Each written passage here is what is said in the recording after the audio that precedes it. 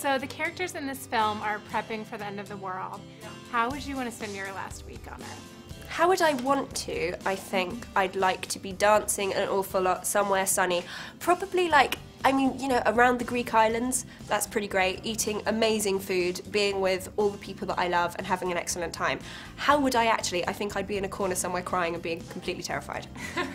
I guess that's a little more realistic. Yeah, probably. um, your character at the beginning of the film goes through a breakup.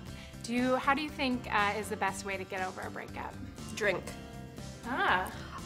I'd go for girlfriends. Actually, you know what? If you've got a group of girls, I think that's that's the best thing. Go to all the girlfriends and go out and have a really, really, really good time.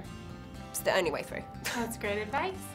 Um, now I have to say congratulations on your engagement. Thank you very much. Very exciting news. Very exciting news. uh, how did he pop the question? I'm not going to tell you that.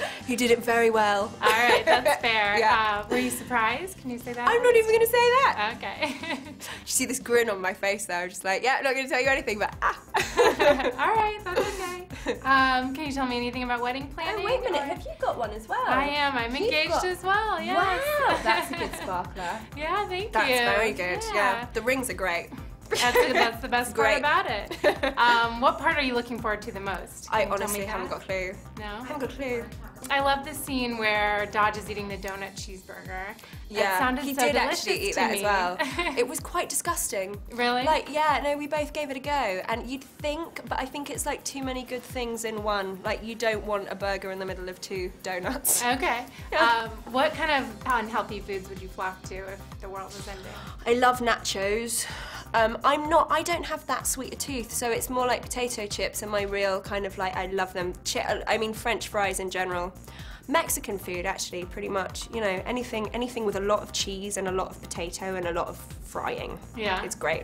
also in the film, I love the scene where your character's looking through Dodge's high school yearbook. Yeah. We get to kind of see what he was like. Yeah. Uh, what were you like in high school? What was I like in high school?